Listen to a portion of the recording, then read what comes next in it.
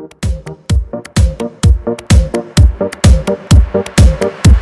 stars come out. Uh,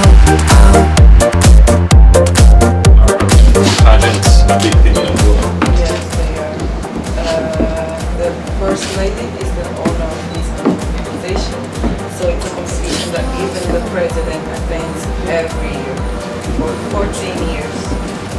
They finally have the Miss Universe. So you're the first? Yes. Oh, well, very good, and I see why. Thank I you. see why. The sun How are things in Angola these days?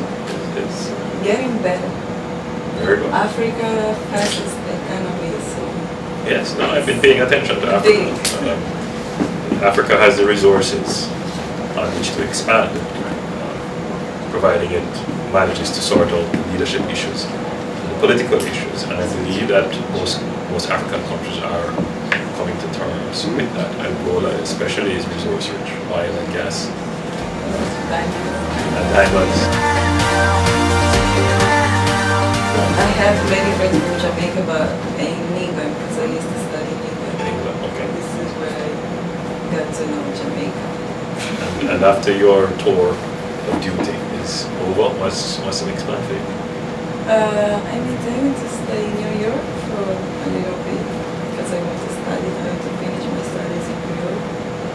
And then I'll see. No, no immediate plans. Uh, sorry? No immediate plans. Uh, I'm, uh, I'll study acting, so I want to do TV. No, no plans for politics.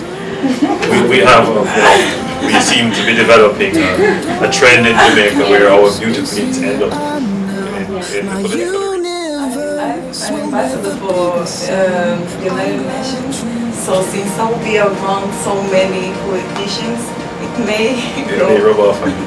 No, they, I, I tell you, it, there, just seems to be a love, especially in Jamaica, of beauty queens. It's, it's, a, it's a good platform, you know, it's, a, it's a extremely good platform which to build a political career. And, and I'm sure you're enjoying your, your time. And you encourage others. young ladies. I'm glad you came. All right, well, Glad that's glad you All right, so,